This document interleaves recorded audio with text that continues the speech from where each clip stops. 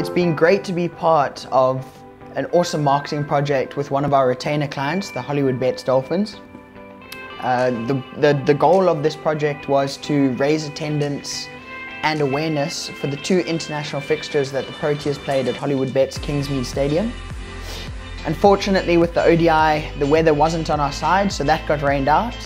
But as a result of some of our efforts, and well as the efforts from the Hollywoodbets team, as well as the efforts from the in-stadium team,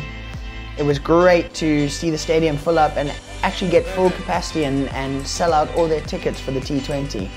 So part of that project was a full marketing campaign, radio scripts,